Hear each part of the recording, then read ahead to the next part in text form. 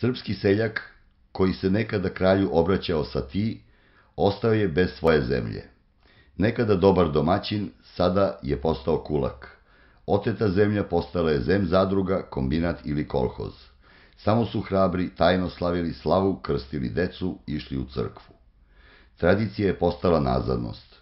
Brat je brata izdao u vremenu čuda. Na otetoj imovini komunističkom diktaturom stvara se privid blagostanja. Za to vreme država i narod se zadužuju. Od 1945. pa do 1989. dug države raste na nekoliko desetina milijardi dolara. Godine su pojeli skakavci.